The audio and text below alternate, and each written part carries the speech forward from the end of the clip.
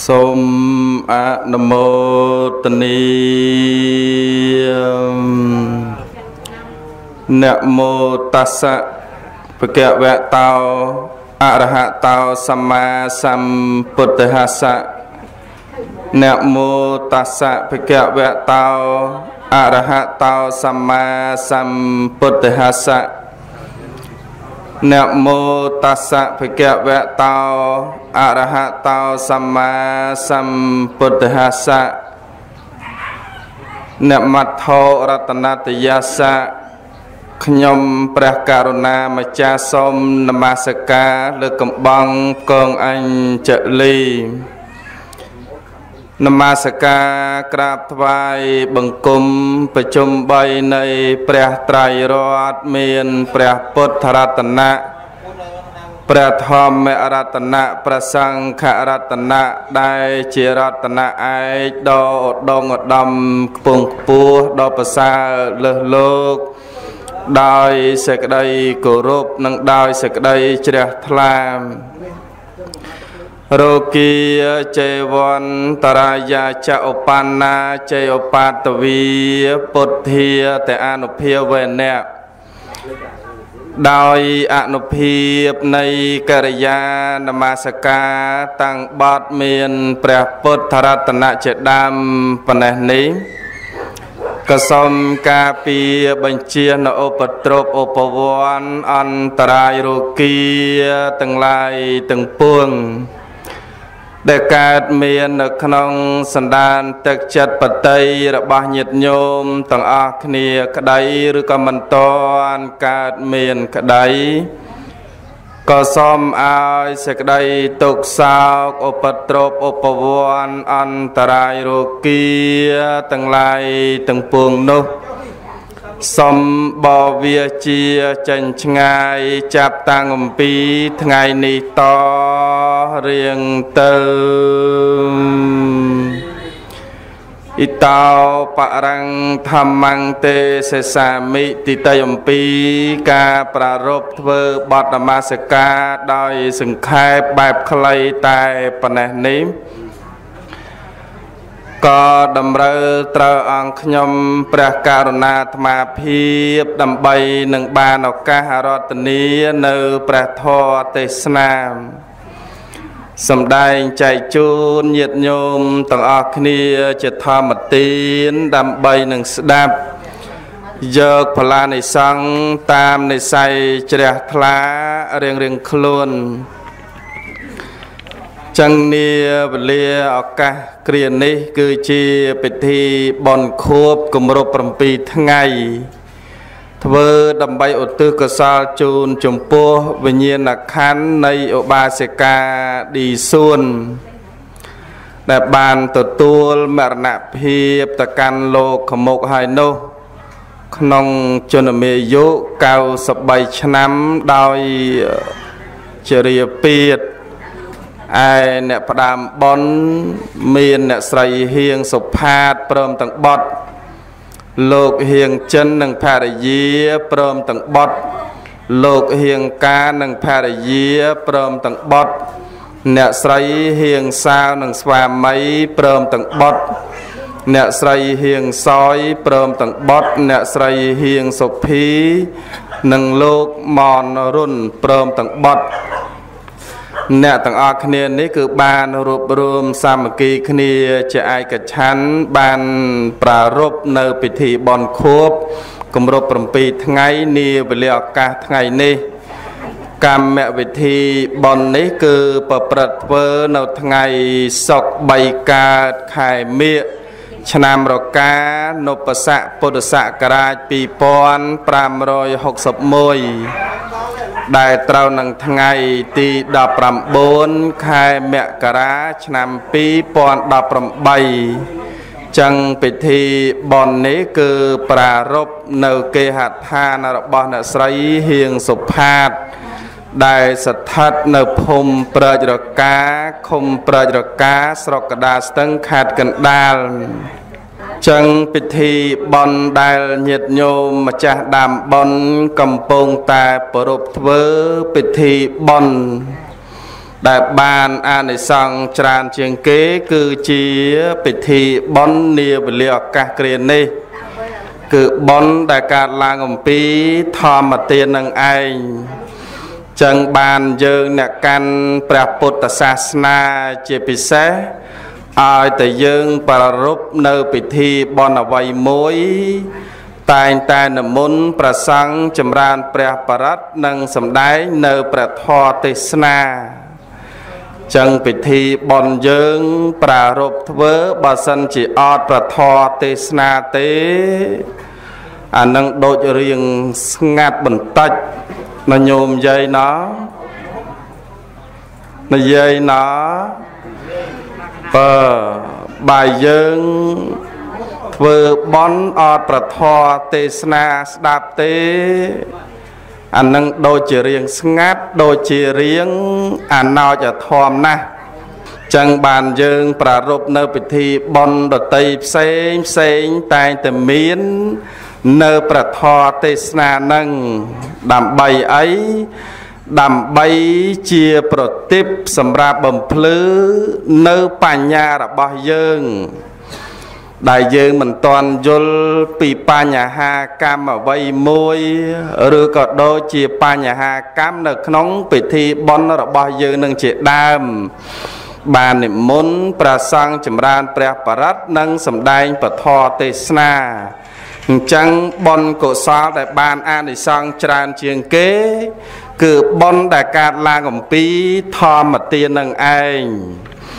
ប៉ុន្តែបើយើងធ្វើបុណ្យកុសលដើម្បីឲ្យបានអានិសង្សច្រើនទៅបានលុះត្រាតែមាននៅពធទេសនានឹងស្ដាប់ហើយបើមាននៅប្រធទេសនានឹងស្ដាប់លុះត្រាតែយើងនឹងយកចិត្តទុកដាក់នៅក្នុងការស្ដាប់ ហើយកាលណាបើយើងមិនយកចិត្តទុកដាក់នៅក្នុងការស្ដាប់ទេ ពេលខ្លះវាអាចមានបាបដោយសារតែការស្ដាប់នៅប្រធរនឹងក៏មានហើយយល់ទេបើនិយាយអញ្ចឹងញោមយល់ទេយល់គុណបង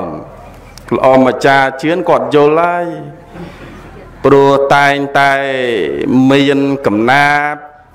កាបឃ្លោង ជាពិសេសមុនប្រសង់សំដែងពធមុននឹងប្រសង់ចម្រើនព្រះបរិត្តតែងតែលើកអំពីទោសនៃការស្ដាប់ពធមែនទេល្អម្ចាស់ជឿនបើការទោសទៅជាថ្លង់កមកពីយើងមិនស្ដាប់ពធយកចិត្តទុកដាក់អញ្ចឹងបានចំណុចនេះ អាត្មាធ្លាប់សម្ដែងនឹងជាច្រើនប៉ុន្តែនៅក្នុងភូមិព្រះចរការយើង មិនដែលលើកត្រង់ចំណុចនឹងទេឥឡូវនឹងលើកត្រង់ចំណុចនឹងចោះមុននឹងចូលបញ្ហាកម្មពិធីបន់របស់យើងឲ្យយល់អំពីបញ្ហាកម្មនៃការស្ដាប់នៅប្រធរនឹងជាមុនសិន បើឲ្យយល់អំពីបញ្ហាកម្មនៃការស្ដាប់ប្រធរនឹងជាមុនសិនព្រោះការស្ដាប់ប្រធរបកូលខ្លះបើយកចិត្តទុកស្ដាប់ ស្ដាប់ទៅក៏បានអានិសង្សច្រើនបើគោលខ្លះស្ដាប់មិនយកចិត្តទុកដាក់ក៏មិនបានអានិសង្សមានតែការទោសបីដោយសារតែការស្ដាប់នឹងក៏មាន មិនមែនត្រឹមតែនៅក្នុងសម័យបច្ចុប្បន្នយើងសពថ្ងៃនឹងទេសម័យពុទ្ធកាលកាលអំពីព្រះសម្មាសម្ពុទ្ធបរមគ្រូជាអម្ចាស់នៃយើង ព្រះអង្គទ្រង់គង់នៅក្នុងវត្តចេតពុនការនោះព្រះអង្គកំពុងតែសម្ដែងប្រធរទេសនាអញ្ចឹងញាតិញោមនៅក្នុងគុហានៅក្នុងព្រះវិហារវត្តចេតពុនហ្នឹងប៉ុន្តែនៅក្នុងពេលដែលព្រះសម្មាសម្ពុទ្ធព្រះអង្គទ្រង់ត្រាស់សម្ដែងនៅប្រធរឧបាសកឧបាសិកាជាអ្នកស្ដាប់ធម៌ហ្នឹងគឺ កាយវិការរបស់គាត់ហ្នឹងខុសខុសគ្នាបើអត់ដូចគ្នាទេឧបាសកខ្លះស្ដាប់ពធហ្នឹងចេះតែមើលងើយមើលបើទៅចែកគ្នាបដើអញ្ចឹងទៅកាយវិការចង្អុលទៅខាងលើមើលចោះមើលឡើងងើយចោះងើយឡើងអីចឹងទៅដល់ខាងឧបាសកមួយផ្នែកទៀតព្រះអង្គកំពុងសម្ដែងពធ ទៅជាយកដៃនឹងតគុះដីគូសចោះគូសឡើងដូចញោមខ្លះគូសកតេលគូសអីកេះកតេលអញ្ចឹងញាតិញោមបាទហ្នឹងគឺមួយផ្នែកទៅឧបាសកមួយផ្នែកទៀតអង្គុយស្ដាប់ពធអែនអនបើអែនអនងាកចុះងាកឡើងប្រែចុះប្រែឡើងអីចឹងទៅនឹងមួយផ្នែកបើ ដល់ឧបាសកមួយផ្នែកទៀតទៅគេសមាធិចិត្តឲ្យស្ងប់បើចិត្តរបស់គេអត់មានវាចវេកាយវិការហ្នឹងវាចវេទៅណាទេ គឺយកចិត្តទុកដាក់នៅក្នុងការស្ដាប់នៅព្រះធម៌ហ្នឹងដល់ឃើញកាយវិការរបស់ឧបាសកឧបាសិកាខុសប្លែកគ្នា ព្រះអនន្តនេះណោ ដែលជាពុទ្ធោឧបថាកៈរបស់ព្រះសម្មាសម្ពុទ្ធបរមគ្រូជាអម្ចាស់នៃយើង កំពុងតែអង្គុយបក់ផ្លិតថ្វាយព្រះសម្មាសម្ពុទ្ធនៅពីខាងក្រោយហ្នឹងឃើញហេតុដូច្នោះក៏បានលើកជាសំណួរហ្នឹងទៅសួរព្រះសម្មាសម្ពុទ្ធបរមគ្រូសួរថាឧបាសកខ្លះទៅស្ដាប់ពធហ្នឹងចេះតែកាយវិការខុសគ្នាទៅខ្លះធ្វើអញ្ចេះខ្លះធ្វើអញ្ចោះទៅ ព្រះសម្មាសម្ពុទ្ធបានឱកាសហ្នឹងក៏មានព្រះតម្រាស់ទៅកាន់ព្រះអនន្តឬក៏មានពុទ្ធដីកាទៅកាន់ព្រះអនន្តថាមនាលអនន្តឧបាសកដែលស្ដាប់ព្រះធម៌កាយវិការខុសគ្នាហ្នឹងដោយសារតែកម្មរបស់គាត់សាកំពីជាតិមុនហ្នឹងក៏វាខុសគ្នាមិនដូចគ្នាទេ មនាលព្រះអនន្តឧបាសកខ្លះស្ដាប់ពធយកដៃគូសកវែងកវៀមកវែងកវាមកេះកតេលអីហ្នឹងដោយសារតែឧបាសកហ្នឹងជាតិមុនធ្លាប់កើតជាសត្វជន្លេនយាយអើយអើយយាយចូលណាបង ឧបាសកខ្លះយកដៃគូកវែងកវៀមហ្នឹងដោយសារតែជាតិមុនគាត់ធ្លាប់កើតជាសត្វចន្លេនទៅមកដល់ជាតិហ្នឹងគាត់ស្ដាប់ពធហ្នឹងចេះតែកេះចោះកេះឡើងកេះកតេលកវែងកវៀមអីចឹងទៅដល់ឧបាសកខ្លះទៀត ចេះតាសម្លឹងមើលខាងលើងើយចោះងើយឡើងទៅចែកគ្នាកាយបកាចង្អុលចោះចង្អុលឡើងមនាលអនន្តឧបាសកនឹងឯងមកពីជាតិមុន ធ្លាប់ធ្វើជាហោរាទុះទាយញោមតាអើយឯសំដែងអញ្ចឹងទៅតិចថាស្ដីឲ្យទៅមិនមែនទេបើស្ដាប់សាច់រឿងសិន មកពីអបាសកហ្នឹងធ្លាប់ផោរាទុះទាយចឹងអ្នកទុះទាយអញ្ចឹងឯងមែនទេញាតិញោមបើកាយវការចោះកាយវការឡើងធ្វើដៃគុណគូសគុណឡើងអីចឹងទៅងើយមើលលេខចោះឡើងចុះឡើងទៅវាយតបៈទេហាដល់ឧបាសកមួយផ្នែកទៀតមនាលអនន្ត ដែលស្ដាប់ពធទេសនាតែងតែអែនចោះអែនឡើងងាកចោះងាកឡើង ខ្លះទៅស្ដាប់ពធនឹងដេកលីនចោះលូនឡើងអីចឹងទៅនឹងដោយសារតែជាតិមុនឧបាសកនោះឯងធ្លាប់កើតជាពស់ថ្លាន់មែនទេបើពពស់ថ្លាន់ញោមដឹងហើយ ដេកក៏វាក្នុងដៃដាវក៏នៅដៃមែនទេស៊ីចុកក៏នៅដៃលូនចោះលូនឡើងអែនចោះអែនឡើងមិនស្ដាប់ធម៌អញ្ចឹងដែរណាបើដល់ឧបាសកមួយផ្នែកទៀតគាត់ស្ដាប់ពធយកចិត្តទុកដាក់សមាធិចិត្តស្ងប់ថ្មឹងថ្មាតល្អស្ដាប់ដោយគោរពស្ដាប់ហើយយកទៅបដិបត្តិតាម នឹងឧបាសកនឹងពីជាតិមុនគេជាអ្នកមានបុណ្យនឹងក្រាស់ណាស់គេបានធ្វើបុណ្យគេបានធ្វើទានគេបានរក្សាសិលគេបានដាំពូជនៅបញ្ញានៃការស្ដាប់នៅព្រះធម៌ហ្នឹងបានច្រើននឹងឧបាសកហ្នឹងល្អហ្នឹងព្រះអនន្តទូសួរព្រះអង្គញាតិញោម បើប៉ុន្តែមានច្រើនយ៉ាងជាងនឹងទៅទៀតប៉ុន្តែលើកត្រឹមតែឧបាសក4ចំណុចនេះ ជាកតេមួយយើងយកមកគិតត្រាស់រិះពិចារណាចឹងការស្ដាប់ពធពេលខ្លះយើងស្ដាប់បានទោសក៏មានពេលខ្លះយើងស្ដាប់បានបន់បានអានិសង្ឃនឹងក៏មាន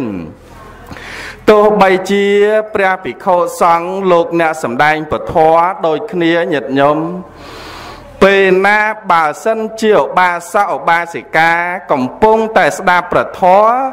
មិនយកចិត្តទុកដាក់មានភាពប្រញេរញ៉ៃ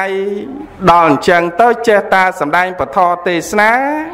ព្រះសង្ឃដែលសំដែងឬក៏ធម្មកថាដែលសំដែងនោះគឺត្រូវតែមានទោសត្រូវតែមាននៅអាបត្តិអញ្ចឹងអត់បានទេញោមអ្នកសំដែងធម៌ក៏ត្រូវតែមានទោសញាតញោមអ្នកស្ដាប់ធម៌ហ្នឹងក៏ត្រូវតែមានទោសអញ្ចឹងបានញោមខ្លះកើតមកថ្លង់ញោមខ្លះកើតមកល្ងឹតល្ងងដោយអវិជ្ជារៀនធរក៏មិនសូវចាំរៀនអីក៏វាមិនសូវចេះចាំ អានឹងមកពីពេលដែលព្រះសង្ឃកំពុងសម្ដែងពធក្តី ពេលដែលលោកសោតធរស្វាតជានៅពធក្តី យើងនឹងវាអត់យកចិត្តទុកដាក់បែរទៅជាមានការជជែកមានភាពប្រញេរញ៉ែរអ៊ូរតមិនពេញចិត្តមិនចូលចិត្តមិនស្រឡាញ់នៅពធទើបប្រហែលជាបច្ច័យនាំឲ្យយើងកើតទៅជាថ្លង់ទៅជាកនឹងឯងស្ដាប់តនៅយាយ តនៅយាយណបើ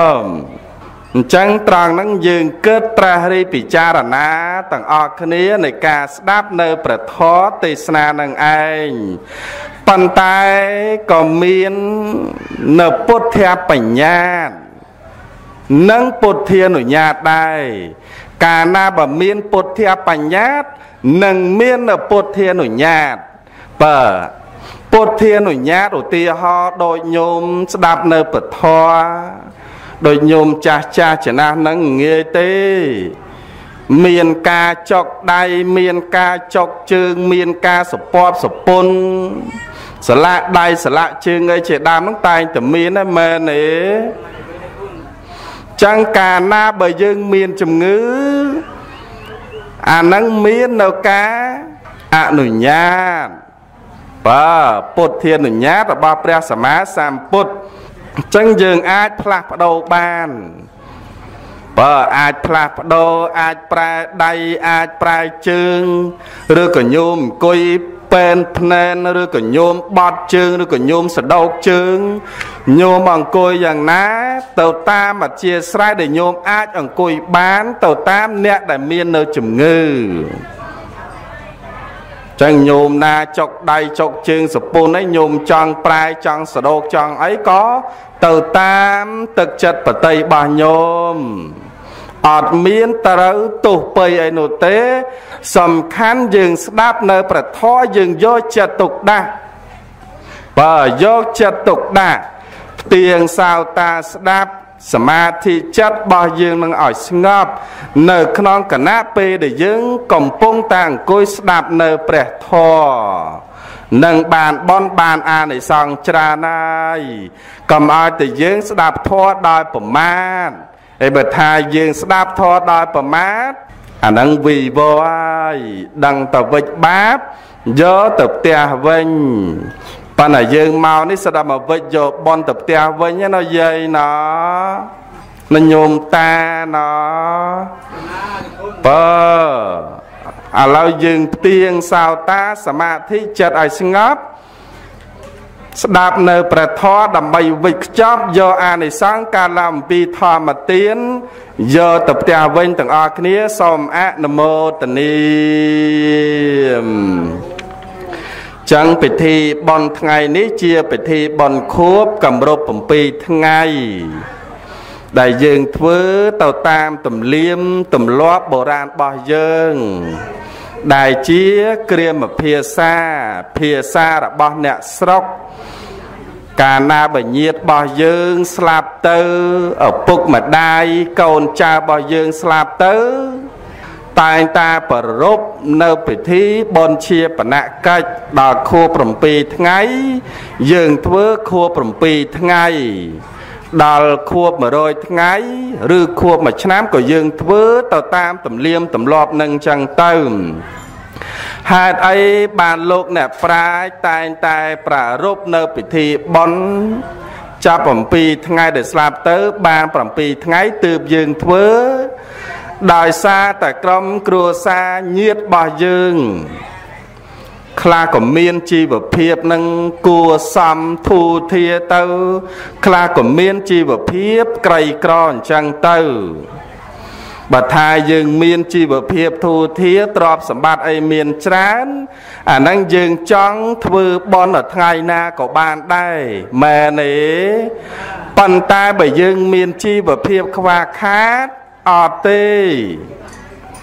ខ្លះធ្វើបន់ខូបខ្លះធ្វើបន់ស្លាប់របស់ឪពុកធ្វើបន់ស្លាប់របស់អ្នកម្ដាយខ្លះទៅខ្ចីបលបំណុលគេញោមជឿទេដល់ក្រមែនតែនខ្លះទៅខ្ចីលុយគេយកមកធ្វើបន់សពជូនអ្នកម្ដាយខ្ញុំធ្វើបន់សពលោកឪពុករបស់ខ្ញុំ ខ្លះរហូតទៅដល់យកស្រែទៅប្រចាំឬក៏យកមាសពេជ្រកែវកងយកទៅលក់ដើម្បីឲ្យបានប្រាក់កម្រៃយកមកធ្វើបន់សពអ្នកម្ដាយរបស់ខ្ញុំអីជាដើមអញ្ចឹងគឺមានជីវភាពខ្វះខាតប្របាអញ្ចឹងឯងញាតិញោមអញ្ចឹងបានលោកអ្នកប្រាជ្ញតែងតែដាក់នៅការធ្វើបន់ចាប់ពីថ្ងៃស្លាប់ទៅបាន7ថ្ងៃ បាទដល់ខួប7ថ្ងៃយើងត្រូវធ្វើដោយសារតែយល់ចំពោះបកគលដែលជាអ្នកទីតលក្រខ្វះថវិកាអញ្ចឹងបើយើងរាប់អំពីថ្ងៃស្លាប់ដល់7ថ្ងៃវារៀងយូរគ្រាន់បាដែរបើយើងខ្វះខាតអីល្មមល្មមយើងអាចទៅខ្ចីលុយគេបាន យើងអាចយកស្រែទៅប្រចាំយកមកធ្វើបន់នឹងបានអញ្ចឹងបានឲ្យតែស្លាប់ទៅបាន7ថ្ងៃ យើងតែងតែប្រពធ្វើនឹងគឺអ្នកកាន់ព្រះពុទ្ធសាសនាប៉ុន្តែនៅក្នុងគម្ពីរនៃព្រះពុទ្ធសាសនារបស់យើងដែលមានសម្ដែងនៅក្នុងគម្ពីរអដ្ឋកថាសង្គាលសោតបើមានសម្ដែងនៅក្នុងគម្ពីរអដ្ឋកថាសង្គាលសោតគឺរាប់អំពីថ្ងៃដែលស្លាប់ទៅបាន3ថ្ងៃ ថ្ងៃណាក៏យើងអាចធ្វើបានដែររាប់អំពីថ្ងៃដែលស្លាប់ទៅបាន3ថ្ងៃ ថ្ងៃណាក៏ញោមអាចធ្វើបានដែរយល់ទេបើមិនតគ្រប់ខួប7ថ្ងៃនឹងទើបអាចធ្វើបានឬក៏ខ្វះមួយថ្ងៃពីរថ្ងៃនឹងធ្វើមិនបាន ឬក៏លើស ដល់9ថ្ងៃ10ថ្ងៃនឹងធ្វើមិនបាននឹងអត់ទេរាប់អំពីថ្ងៃដែលស្លាប់ទៅញោមរាប់ទៅ បាន3ថ្ងៃ ថ្ងៃណាក៏ញោមអាចធ្វើបានដែរឲ្យតែញោមមានលុយឲ្យតែញោមមានទ្រព្យសម្បត្តិនឹងក្នុងគម្ពីរនៃព្រះពុទ្ធសាសនា ប៉ុន្តែការដែលយើងចម្រើនដោយសេចក្តីល្អយើងចេះធ្វើបន់យើងចេះធ្វើទានយើងចេះរក្សានៅសិលយើងចេះបំពេញនៅគុណធម៌ចំពោះមេត្តាបិតារបស់យើងឲ្យតែយើងធ្វើនៅអំពើល្អថ្ងៃណាក៏ញោមអាចធ្វើបានដែរព្រះអង្គសម្ដែងតានៅក្នុងជយន្តតោញោម បើសញ្ញាខាតតាំងសម្ញាំងកលាំងសុបភាតាំងសហតតាំងសុកណោសុមហោតតោចៈសយិតថាងព្រះមចារីសោពេលណាដែលសត្វទាំងឡាយប្រព្រឹត្តល្អដោយកាយវិចារនិងចិត្តពេលនោះឈ្មោះថាអ្នកខាត់ត្រឹមល្អជាថ្ងៃមង្គលល្អជាពេលភ្លឺស្វាងល្អជាពេលនៃអរុណរះល្អជាកណាល្អជាយាមល្អ ចឹងថ្ងៃណាឲ្យតែថ្ងៃយើងធ្វើអំពើល្អជាថ្ងៃមង្គលល្អទាំងអស់ជាថ្ងៃជោគថ្ងៃជ័យសិរីសួស្តីទាំងអស់ថ្ងៃច័ន្ទក៏ដោយអង្គាពុទ្ធពហសុកសៅរ៍អាទិត្យក៏ដោយ ថ្ងៃទាំង7ខែទាំង12ឆ្នាំទាំង12ពេលព្រឹកពេលថ្ងៃពេលល្ងាចពេលយប់ថ្ងៃណាក៏ញោមអាចធ្វើបានឲ្យតែញោមធ្វើនៅអំពើល្អ ស្ដាប់តនេះយាយតណាណាយាយណាបើអញ្ចឹងដូចថ្ងៃហ្នឹងក៏ជាថ្ងៃមង្គលល្អសរិសួស្តីបាទញោមម្ចាស់ដើមប៉ុនព្រោះទី1យើងធ្វើប៉ុនចម្រើនដោយធម៌ពីរយ៉ាង ទី1ចម្រើនដល់អ្នកដែលស្លាប់ ទី2ចម្រើនដល់អ្នកដែលមានជីវិតរស់នៅ គឺចំពោះបុគ្គលដែលជាអ្នកប្រារព្ធនៅពិធីបន់ហ្នឹងអញ្ចឹងចម្រើនតែធម៌ពីរយ៉ាងហ្នឹងញោមហ៎ហើយចម្រើនដល់អ្នកស្លាប់ហ្នឹងចម្រើនហ្នឹងយ៉ាងម៉េចដោយសារតែព្រះសម្មាសម្ពុទ្ធបរមគ្រូជាអម្ចាស់នៃយើងព្រះអង្គទ្រង់ប្រមាមើឧបនិស្ស័យនៃសត្វលោក ដែលមានជីវិតរស់នៅ ស្លាប់ទៅទៅចាប់បរិសន្ធិនៅក្នុងទីដែលមិនសមគួរឬក៏ទីកន្លែងដែលសមគួរដោយនៅក្នុងពពកភូមិនៃប្រែតដែលញាតរបស់យើង ប្រព្រឹត្តអកុសលកម្មមានការប្រព្រឹត្តបាណាតិបាតមានការលួចទ្រព្យអ្នកដតីអីជាដើមធនលមមលមមមិនសូវធ្ងន់ធ្ងរ ធ្វើឲ្យផ្លត់សតិទៅចាប់បរិសន្ធិនៅអបាយភូមិជាពិសេសគឺពពួកភូមិនៃប្រែតអញ្ចឹងពពួកភូមិនៃប្រែតគឺអាចទទួលបុណ្យកុសលអំពីកូនចៅញាតិមិត្តដែលធ្វើ នៅពិធីបុណ្យតក្កិណានុប្រទានឧទ្ទិសជូននឹងបានបើឧទ្ទិសជូននឹងបាន អញ្ចឹងទីកន្លែងហ្នឹងជាទីកន្លែងដ៏សមគួរអាចទទួលនៅបុណ្យតក្កិណានុប្រទានឲ្យកូនចៅឧទ្ទិសជូននឹងបានប៉ុន្តែបើសិនជាញាតរបស់យើងឪពុកម្ដាយឬកូនចៅរបស់យើង ការមានជីវិតរស់នៅគាត់ប្រព្រឹត្តអំពើបាណាតិបាត ឬក៏មានការសម្លាប់សត្វមានការលួចទ្រព្យអ្នកដតីមាននៅអព្យាបាទៈការបៀតបៀនចងគំនុំចំពោះអ្នកដតី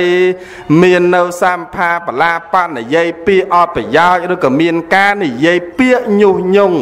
អ្នកដតីឲ្យអ្នកដតីគេដល់នៅសក្តីទុកសក្តីវេទនាអីជាដើមកម្មដ៏ធ្ងន់បែបនោះស្លាប់ទៅទៅចាប់បរិសន្ធិនៅក្នុង អវិជ័យមហានរុអីជាដើមអញ្ចឹងកម្មដ៏ធ្ងន់បែបនោះគឺទទួលសោយនៅកម្មរងទុកវេទនាលំបាកខ្វះនៅអាហាររងទុកវេទនាលំបាកមួយថ្ងៃមួយថ្ងៃនឹងមានតែការទទួលនៅអកុសលកម្មនឹង មានការទទួលដូចជាផ្ទះផ្ទះខ្ទង់ដៃអីជាដើមអាត្មាធ្លាប់សំដែងញោមដឹងណាបើផ្ទះខ្ទង់ដៃអីជាដើមញោមដឹងហើយមិនទៅសំគួរឲ្យប្រមាណបើយើង ប្រព្រឹត្តអំពើបាណាតិបាតលួចទ្រព្យកម្មមេអីជាដើមទៅធ្លាក់នៅក្នុងផ្ទះខ្ទង់ដែងគ្រាន់តែផ្ទះខ្ទង់ដែងនេះញោមដឹងយ៉ាងម៉េចទេ បើសិនជាមនុស្សស្លាប់ទៅទៅកើតនៅក្នុងទីកន្លែងនោះគ្រាន់តែចាប់បោះយកទៅដាក់បើគ្រាន់តែចាប់ដាក់ចូលទៅក្នុងផ្ទះខ្ទង់ដែងកើតពីមាត់ផ្ទះចូលទៅដងក្នុងបានផ្ទះ30000ឆ្នាំយាយអើយ គ្រាន់តែចាប់បោះដាក់ពីលើមាត់ផ្ទះតម្រាំតែធ្លាក់ចូលទៅដល់បានផ្ទះ30000ឆ្នាំនិយាយពីទឹកផ្ទះខ្ទង់ដៃសិតតែជារបស់ឆ្អេះរបស់ឆ្អាបរបស់ដែលមិនសមគួរប៉ុន្តែមិននិយាយឲ្យចំទេគេកំពុងអបសាបបខ្លាចគីឡូគេខ្ពើម៉ាស់ញោមយាយហើយនៅក្នុងផ្ទះខ្ទង់ដៃនឹងសិតតែឈាមទាំងអស់អត់ល្អទេញោម អញ្ចឹងគ្រាន់តែគេដុតភ្លើងដែលឆេះសន្ធោសន្ធើគ្រាន់តែពុះក្រាក់ក្រាក់អណ្ដែតពីបានផ្ទះមកដល់មាត់ផ្ទះវិញ30000ឆ្នាំអញ្ចឹងរាប់ចូលគ្នា60000ឆ្នាំណាញោមចង់ទៅទីកន្លែងហ្នឹងអេចង់ទៅអេទៅបន្តិចទៅសបាយណា អត់ទេណាយាយណាមិនចង់ទៅទេដោយសារតែខ្ញុំមិនចង់ទៅទើបខ្ញុំមកធ្វើបន់ហ្នឹងណាញោមតាណបើអត់ចង់ទៅទេ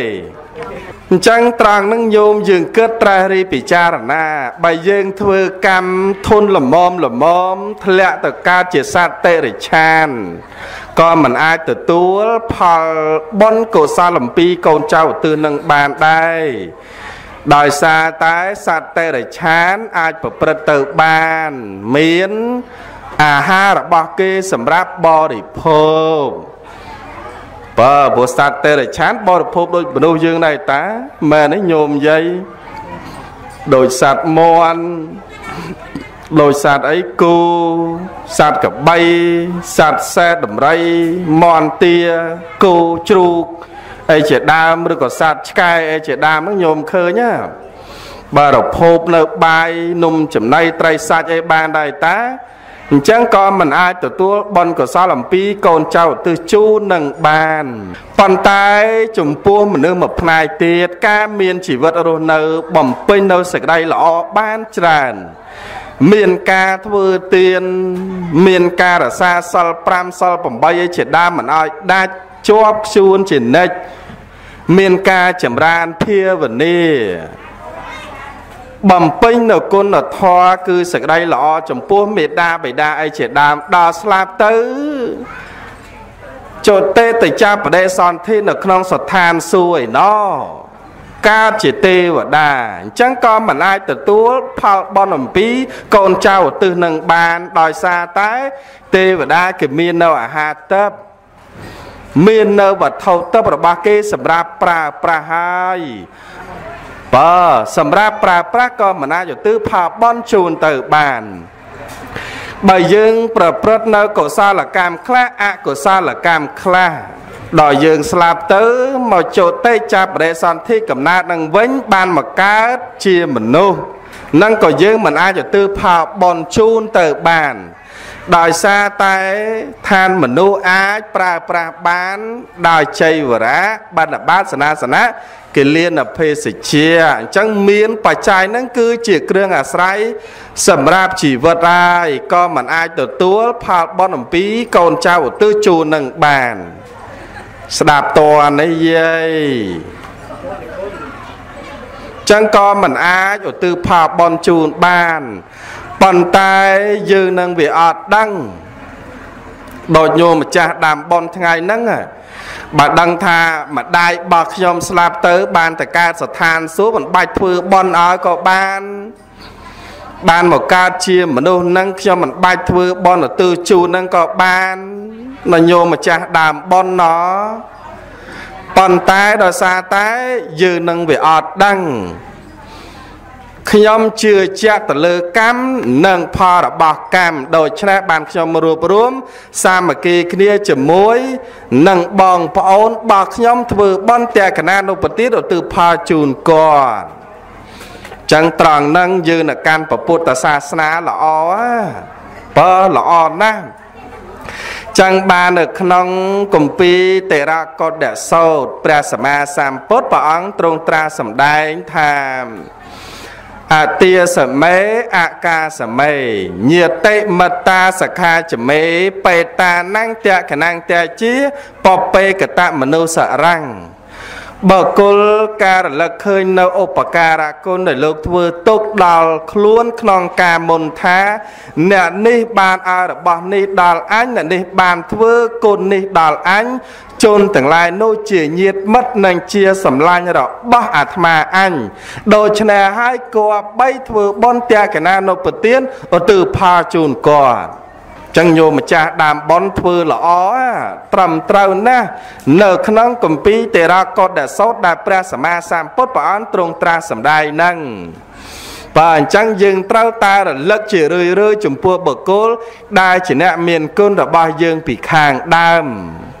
ទោះបីជាគាត់មានជីវិតរស់នៅក៏យើងត្រូវបំពេញនៅកតាបកិច្ចជាកូនតបគុណគាត់ ទោះបីជាគាត់ស្លាប់ទៅ យើងជាកូនក៏ត្រូវតែធ្វើបន់តែខណៈនុបទានឧទ្ទិសផលជូនគាត់ហើយបើគោលណាដែលជាអ្នកមានគុណពីខាងដើមរបស់យើងមិនញោមយាយដឹងទេបើគោលណាជាអ្នកមានគុណពីខាងដើមរបស់យើងអញញោមយាយមើលឆ្លើយមួយមើលអ្នកណាមានគុណពីខាងដើម បើម៉ែឪដែលមានគុណពីខាងដើមរបស់យើងជូន100បន្ទុកត្រូវឲ្យយកទៅបើគ្មាន 100អេសឲ្យទេមានតែ100បន្ទុកហ្នឹងចឹងមេដាបេដាជាអ្នកមានគុណពីខាងដើមរបស់យើង ទោះបីជាគាត់នៅ មានជីវិតរស់នៅ យើងត្រូវតែបំពេញនៅគុណធម៌ជារឿយរឿយដល់គាត់ស្លាប់ទៅយើងក៏ត្រូវតែបំពេញនៅបន់តក្កណានុបទាននឹងជារឿយរឿយដើម្បីឧទ្ទិសផលជូនគាត់ព្រោះគ្មានបន់អ្វីឲ្យបានសម្រេចផលដល់អ្នកស្លាប់ឲ្យបានរស់រាន់តន់ចិត្តដោយពិធីបន់តក្កណានុបទាននឹងទេអញ្ចឹងបានព្រះអង្គទ្រង់ត្រាសម្ដែងថា អនតេអតកាំងពុទ្ធាំងយថាននំបវតតេអេវមេវឥតោតនំបេតានំឧបកាបតេទឹកធ្លាក់ចុះក្នុងទីទួលរមែងហូរទៅកាន់ទីទំនាបដោយម្ដេចមិញទៀនដាបកូលឲ្យហើយអំពីលោកនេះក៏រមែងសម្រាប់ផលដល់ប្រែទាំងឡាយក៏ដូចឆ្នោះដែរហើយញោមស្គាល់ទេបាទទឹកធ្លាក់ចុះលើទីទួលរមែងហូរទៅកាន់ទីទំនាបហ៎ ញោមយល់ទេត្រង់ចំណុចហ្នឹងញោមយល់ទេញោមតាយល់ខ្លះអេយល់ឡាណយល់ដល់គុណឯងទេហ្នឹងបើញោមមើលទឹកដែលនៅលើទីទួលឧទាហរណ៍ចាស់ញោមដើរទៅលេងនៅ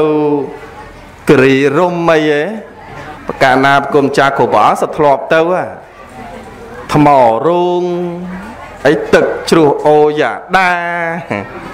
អីទឹកភ្នំគូលែនដែរទៅហ៎បាទញោមមើលទឹកដែរនៅលើទីខ្ពស់ពីនៅលើជ្រោះញោមឃើញទឹកដែលធ្លាក់ចុះអំពីទីខ្ពស់មកកាន់ទីដែលទៀបនឹងលឿនទេលឿនណាស់បើលឿនណាស់ យ៉ាងណាមិញពិធីបុណ្យតក្កណានុបទានដែលញោមម្ចាស់ដើមបុណ្យកំពុងតាប្រពធ្វើដូចគ្នាអញ្ចឹងសម្រាប់ផលដល់អ្នកស្លាប់នឹងលឿនណាស់ គ្មានអ្វីឲ្យសម្រេចតន់ចិត្តដល់អ្នកស្លាប់ដោយពិធីបន់តេកិណានុបទាននឹងទេប៉ុន្តែបើយើងធ្វើដើម្បីឲ្យបានសម្រេចដល់អ្នកស្លាប់ទៅបានលុះត្រាតែយើងប្រកបដោយធម៌3ហើយធម៌3ហ្នឹងញោមយល់ញោមធ្លាប់ដឹងញោមធ្លាប់ស្ដាប់ហើយធម៌3ហ្នឹងមានអីខ្លះទី1យើងធ្វើបន់ជាមួយចំពោះបកគលជាអ្នកមានសិលមែនទេ ទី3យើងជាកូនជាចៅដែលជាញាតិត្រូវធ្វើបន់តេកណានុប្រទានឧទ្ទិសផលជូនទៅទី3អ្នកដែលស្លាប់នឹងមករីករាយត្រេកអរអនុមោទនានៅបនកុសលនឹងដោយខ្លួនឯងទើបបានសម្រេចតន់ចិត្តលឿនណាស់ចឹងត្រង់ចំណុចហ្នឹងញោមគិតពិចារណាដើម្បីឲ្យបានសម្រេចអានិសង្ឃអ្នកស្ដាល់អ្នកស្លាប់ទៅបាន លូត្រាតែយើងមានធម៌3ហ្នឹងចឹងញោមម្ចាស់ដើមប៉ុនយកធម៌3នេះយកម្រាក់នៅក្នុងសដានៃចិត្តរបស់ញោមដើម្បីឲ្យបានប៉ុនបានអានិសង្ឃច្រើនកាលណាបើញោមម្ចាស់ដើមប៉ុនបានអានិសង្ឃច្រើនចឹងយើងត្រូវតែធ្វើនៅកិច្ចតក្កណានុប្រទានឧទ្ទិសផលជូនដល់ញាតិរបស់យើងដែលស្លាប់ទៅហើយបើញោមអ្នកឧទ្ទិសផលបន់ជូនទៅបើញោមខ្វះបន់ដែរហើយញោមត្រូវឧទ្ទិសជូនដល់អ្នកស្លាប់នឹងយ៉ាងម៉េចមែននេះល្អម្ចាស់ជឿនមែនទេអញ្ចឹងត្រូវញោមអ្នកធ្វើបន់ហ្នឹងត្រូវតែមាននៅបន់ហ្នឹងឲ្យបានច្រើនជាមុនសិនចាំមកទើសជូនដល់អ្នកស្លាប់ចឹងបានព្រះអង្គទ្រង់ត្រាសម្ដែងនៅអចិន្នកិច្ចយោកិច្ចសន្សំនៅបនលុះត្រាតែយើងនឹងសន្សំបនឲ្យបានអានិសង្ឃនឹងច្រើនជាមុនយកមកដាក់នៅក្នុងសដានៃចិត្ត ហើយបនដែលយើងត្រូវសន្សំមានអីខ្លះតាំងអំពីនមាសការពុទ្ធគុណធម្មគុណសមាទានសិល5រហូតដល់ស្ដាប់ប្រសងចម្រើនព្រះបរិត្តស្ដាប់ប្រសងសម្ដែងពធទេសនា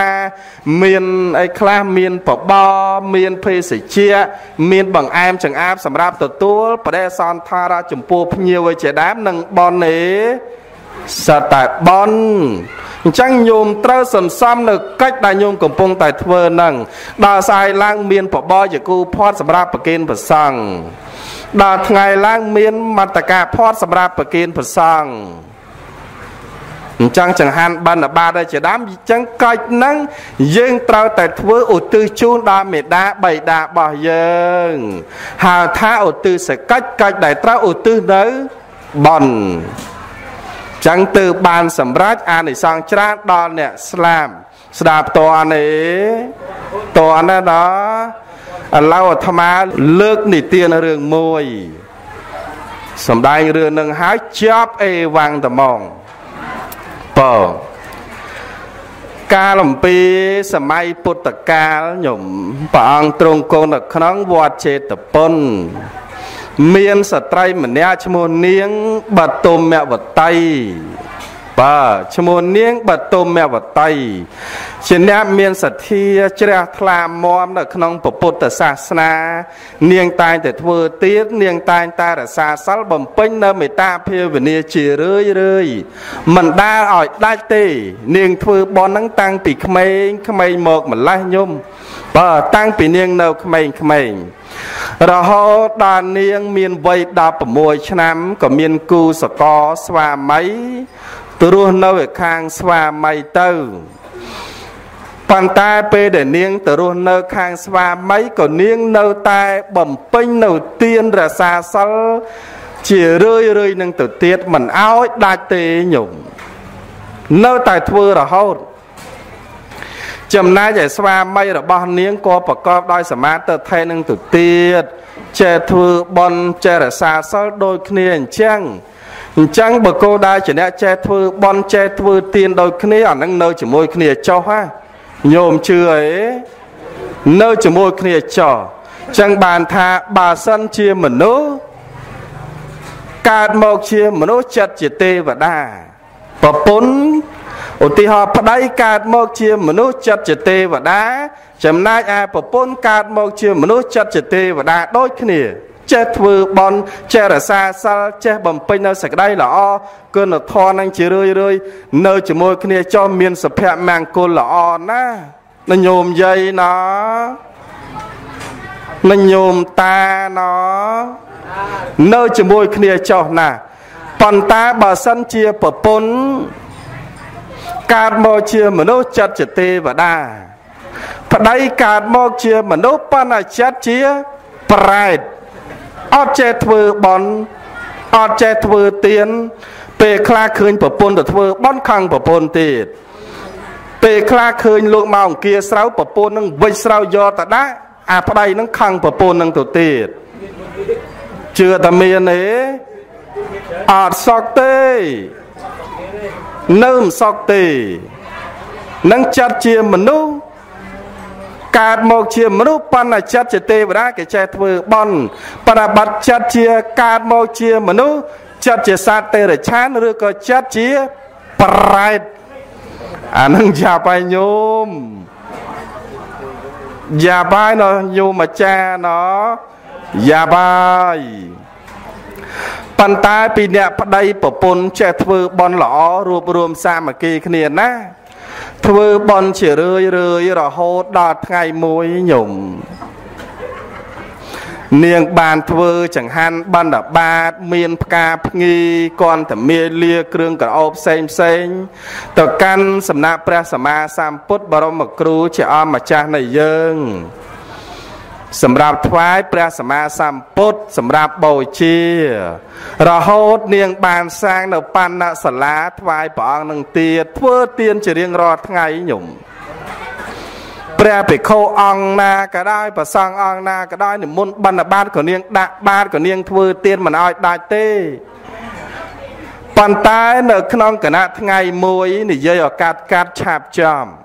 អាយុនឹងវាត្រូវអស់បននឹងវាត្រូវអស់ញោម ពីអ្នកប្តីប្រពន្ធក៏ត្រូវស្លាប់ទៅ ដល់ពេលខណៈពេលដែលនាងទៀបចិត្តនឹងស្លាប់ទៀបចិត្តនឹងស្លាប់គណៈនៃចិត្តពេលហ្នឹងគិតដល់កូនប្រុសស្រីរបស់នាងនឹកឃើញអាណិតកូនស្រឡាញ់កូនដល់ចិត្តវិសោស្ដាយនឹកឃើញកូន ស្លាប់ទៅ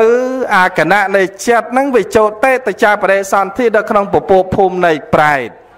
ហើយញោមដឹងអាម៉េចបានតកើតពពោភូមិនៃប្រែតទេដឹងទេដោយសារតែចិត្តហ្នឹងនឹកកូនស្រឡាញ់កូនស្រណះកូនអាពេលទៀបចិត្តនឹងស្លាប់ហ្នឹងអញ្ចឹងបានសុំផ្ដាំញោមយាយញោមតាហើយណាពេលដែលចិត្តរបស់ញោមទៀបចិត្តនឹងស្លាប់ពេលហ្នឹងជីវ័នចិត្តវាកើតឡើងណាប្រព្រឹត្តអកុសលកម្មចិត្តវាឃើញអំពើអាក្រក់ ប្រព្រឹត្តនៅកុសលកម្មជាតិនឹងវាអូសទាញឲ្យយើងជីវ័នចិត្តឃើញតែអំពើជាកោសលអញ្ចឹងមនុស្សម្នាក់ម្នាក់ពេលដែលទៀបចិត្តនឹងស្លាប់ជីវ័នចិត្តគិតឃើញទាំងអស់បើអូទាញទៅហ៎ញោមដូចនេះចនអីវ៉ាណូសម្រាប់តសាទជ្រូកអស់55ឆ្នាំដល់ពេលចិត្តនឹងស្លាប់ញោមឃើញទេស្រែកធ្ងោតហោយំរាល់ថ្ងៃដូចសត្វជ្រូកអញ្ចឹង មុននឹងស្លាប់7ថ្ងៃអញ្ចឹងបានញោមទាំងអស់គ្នាស្រឡាញ់កូនក៏ស្រឡាញ់ចាស់នឹកកូននេះក៏នឹកចាស់ប៉ុន្តែពេលចិត្តនឹងស្លាប់សុំហាមណាគិតនឹកឃើញដល់បននិយមបានធ្វើគិតនឹកឃើញទាននិយមបានធ្វើបននិយមបានធ្វើនឹងចុតទេចាប់បរិសន្ធិស្ថានសួគ៌ត្មង ប៉ុន្តែថាញោមនៅតែនឹកនៅតែសំណោះនៅតែសោកស្ដាយចំពោះកូនអានឹងដូចនាងបតុមវតៃអញ្ចឹងតកាតពួកភូមិនៃប្រែតហើយប៉ុន្តែនៅក្នុងគណៈពេលដែលនាង ទៅចាប់បដិសន្ធិពពួកភូមិនៃប្រែត បានត្រឹមតែ7ថ្ងៃទេបើបានត្រឹមតែ7ថ្ងៃទេ នាងក៏បានទៅកើតស្ថានសួគ៌វិញ ដោយសារអីបានទៅកើតស្ថានសួគ៌ដោយសារតែបុណ្យកុសលអំពីកូនចៅប្រារព្ធនៃពិធីបុណ្យតេកណានុពទានឧទ្ទិសផលជូនទៅនាងព្រោះពេលដែលនាងស្លាប់ទៅកូនប្រុសស្រីទាំងឡាយនឹងយកនាងយកទៅបូជានៅក្នុងព្រៃស្មោសានេះណោពេលដែលបូជាឆេះសន្ធោសន្ធើចប់សពគ្រប់ហើយ ក៏ត្រឡប់មកវិញប្រារព្ធនៅពិធីបុណ្យតេកណានុពទានឧទ្ទិសផលជូនទៅពេលដែលឧទ្ទិសផលជូនទៅនឹងឯងញោមធ្វើឲ្យមេដាបៃតាបានទៅកើតនៅស្ថានសួគ៌នៅក្នុងឋានតាវតឹងកើតនៅក្នុងវិមានមាសមានកម្ពស់រហូតទៅដល់12យោជន៍ឯណោះច្រើនណាស់12យោជន៍ញោម ហើយមួយយោជន៍មួយយោជន៍16គីឡូចោះតម្រាំ12យោជន៍វាមានប្រមាណហើយញោមគុណមើល16គីឡូគុណឲ្យ12ទៅឃើញណាខ្ពស់ណាស់ហើយមានស្រី1000នាក់ចោមរួមជាបរិវារនឹងទៅទៀតបរិបោតទៅដោយទៅសេរីសម្បត្តិសេរី នៅ ក្នុងឋានតាវតੰងនឹងទៅ ដោយសារតែបនអំពីកូនចៅធ្វើឧទ្ទិសជូននឹង ដល់អញ្ចឹងដល់ថ្ងៃមួយពីអ្នកបុត្រធីតាកូនរបស់នាងទាំង14នាក់បើព្រោះនាងបតុមអវតៃហ្នឹងការមានជីវិតរស់នៅ នាងមានកូនហ្នឹងដល់14នាក់ឯណោះកូនប្រុស7នាក់កូនស្រីនឹង7នាក់ច្រើនណាហើយមានញោមណាមានអញ្ចឹងទេមានទេ អត់ទេណាគ្រាន់តែចិត្តមានទេណាប៉ុន្តែនាងបតុមបតៃមានដល់14នាក់ហើយចែកគ្នាដាច់ល្អស្រី7ប្រុស7ហីអាត្មាបើសឹកទៅ បានប្រពន្ធយកអញ្ចឹងល្អនិយាយចោះនិយាយឡើងចូលរឿងប្រពន្ធឯណាទៀតណាបើគេកងគេចង់ចូលទៅរឿងប្រពន្ធដល់អញ្ចឹងទៅ ទូសួរព្រះអង្គទៅកាន់វត្តចេតពុនទូសួរព្រះអង្គកូនទាំង14នាក់ហ្នឹងថាបបពិតព្រះអង្គដល់ចម្រើនតើមេដាបិតារបស់ខ្ញុំព្រះអង្គស្លាប់ទៅទៅកើតនៅទីណាពេលហ្នឹងព្រះសម្មាសម្ពុទ្ធព្រះអង្គមានតម្រាស់ទៅកាន់កូនទាំង14នាក់នឹងថាមេដាបៃតារបស់អ្នកបានទៅកើតនៅឋានតាវតੰហើយ នៅក្នុងវិមានមាសមានកម្ពស់រហូតដល់12យោជមានស្រី1000នាក់ចាំរួមជាបរិវារនឹងទៅទៀតដោយសារតែអំណាចដែលជះនៃបនដែលកូនចៅប្រុសស្រីទាំងឡាយធ្វើបនទៅជូននឹងឯងអញ្ចឹងពេលនឹងសบายចិត្តត្មងញោម កូនចៅប្រុសស្រីទាំងឡាយហ្នឹងគាត់សប្បាយចិត្តដោយសារឃើញមេដាបិតាបានទៅកើតស្ថានសួគ៌យើងគ្រប់គ្នាហ្នឹងក៏អញ្ចឹងដែរបើសិនជាដឹងថាមេដាបិតាទៅកើតស្ថានសួគ៌មិនដឹងសប្បាយចិត្តយ៉ាងណាទេណាញោមយាយណាបើមិនដឹងសប្បាយចិត្តយ៉ាងណាទេអញ្ចឹងកូនប្រុសស្រីទាំង14នាក់សប្បាយចិត្តអញ្ចឹងឯង ដល់មិនអស់ចិត្តទៅទៀតព្រះសម្មាសម្ពុទ្ធដើម្បីញ៉ាំងចិត្តឲ្យកូនទាំង4នាក់ហ្នឹងរត់តែជ្រះថ្លាទៅទៀតឲ្យព្រះមុគលានញោមដែលជាអ្នកមានរិទ្ធឲ្យហោះទៅកាន់ឋានតាវតាំងដោយអំណាចនៃរិទ្ធរបស់ខ្លួនតើមើប្តីប្រពន្ធទាំងពីរនាក់ហ្នឹងតើតកើតនៅទីណាតើតកើតនៅឋានតាវតាំងហ្នឹងពិតមែនឬអត់ ឲ្យឡើងទៅជាប្រញាប់ហើយប្រញាប់ចុះមកវិញ ដើម្បីយករឿងហ្នឹងមកប្រាប់ទៅដល់បត់ទាំង14នាក់នឹងឯងព្រះមុគលានថ្វាយបង្គំលាព្រះសម្មាសម្ពុទ្ធទៅ ហើយក៏ហោះទៅកាន់ឋានតាវតឹងដោយអំណាចនៃរិទ្ធរបស់លោក លោកទៅដល់ពីមុខឋានសៃតវិមាន ដែលមានកម្ពស់12យោជរបស់ នាងបតុមអវតីប្តីប្រពន្ធនឹងញោមតទៅដល់ទៅលោកនៅឈរពីមុខនឹងដូរជាឈរបានតែបានអញ្ចឹងទេវបុត្រទាំងពីរនាក់រួមជាមួយនឹងបរិវាររបស់ខ្លួនឃើញដូច្នោះក៏មកថ្វាយបង្គំព្រះមុគលានដោយសេចក្តីគោរពជ្រះថ្លាហើយក៏បានទូសួរថាបបិទ្ធបងដល់ចម្រើនតើ ព្រះអង្គនិមន្តមកអំពីទីឋានណា បានមកដល់ឋានតាវតឹងនេះ ថាមនាលទេវធីតា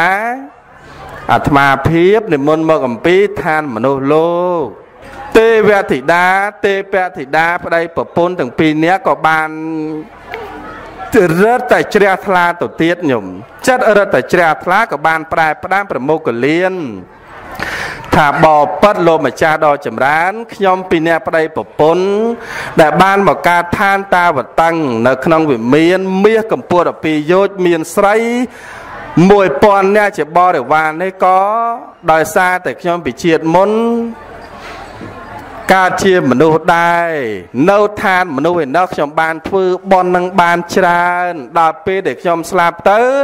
បានទៅកើតពពួកភូមិនៃប្រែតអរយៈពេល7ថ្ងៃ ដោយសារតែមានចិត្តនឹករលឹកចំពោះបត់ពេក ប៉ុន្តែដោយសារតែអំណាចដែលជះនៃបនអំពីកូន ប្រស្រ័យទាំងឡាយធ្វើបនតេខណានុប្រទានឲ្យទើបផលជូនខ្ញុំទើបខ្ញុំនេះតាំងចិត្តជ្រះថ្លាអនុមោទនាទទួលយកនៅបនអំពីកូនចៅខ្ញុំបានមកកើតនៅឋានតាវតឹងនៅក្នុងវិមានមាស12យោជនឹងឯងអស្ចារ្យអស្ចារ្យណា ព្រះមុគលានស្ដាប់ចប់សពគ្រប់ហើយលោកក៏ហោះមកឋានមនុស្សលោកវិញយករឿងហ្នឹងទៅថ្វាយដល់ព្រះសម្មាសម្ពុទ្ធ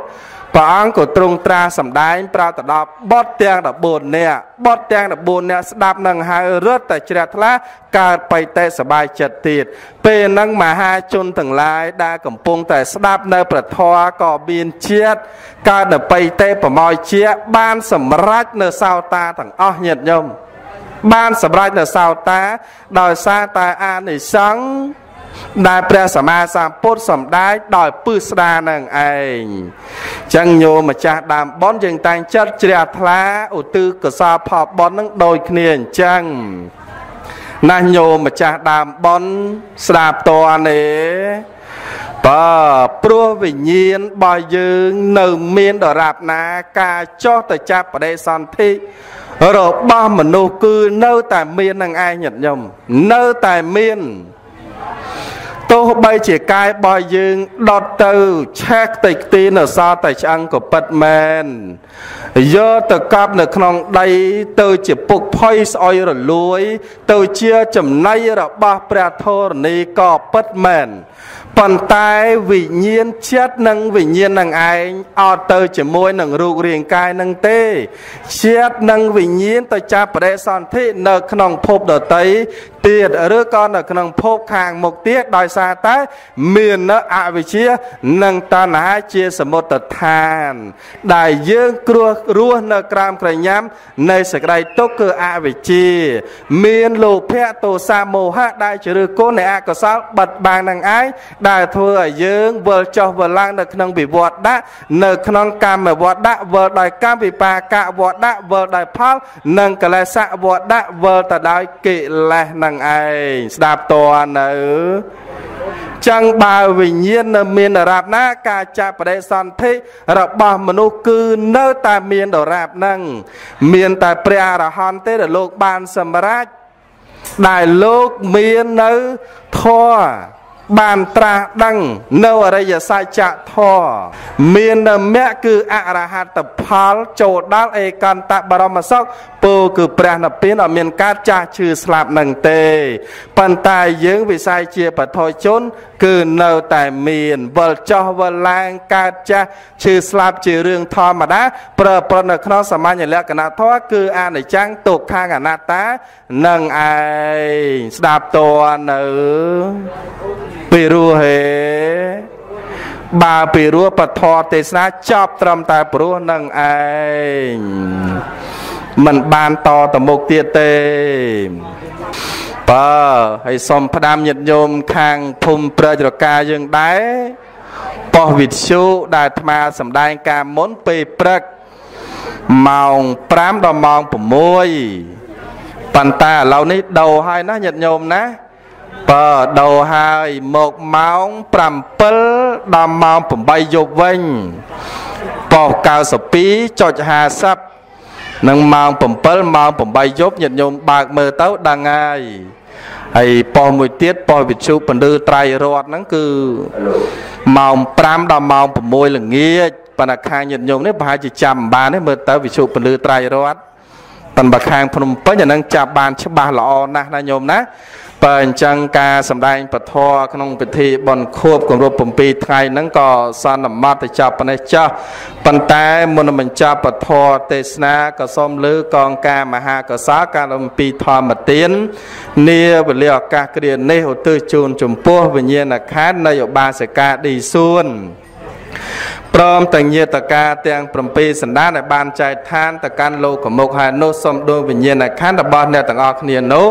មកទទួលនៅអដ្ឋមនុញ្ញផលគឺបុណ្យកុសលអំពីកូនចៅបានប្រពនៃពិធីបុណ្យតេខិណានុពទានឬក៏ពិធីបុណ្យខួបគម្រប់7ថ្ងៃនាវេលាឱកាសគ្រានេះហើយបើសិនជាបានទទួលហើយកសុំរឹងរិតតែចម្រើនជាប្រយោគភាពដោយដូចជានិបុណ្យនេះមួយផ្នែកវិញទៀតញោមប្រុសញោមស្រីម្ចាស់ដើមបុណ្យគ្រប់រូបព្រមទាំងញាតិញោមលោកយាយលោកតា បានស្ដាប់ពធទេសនានៅទីនេះក្តី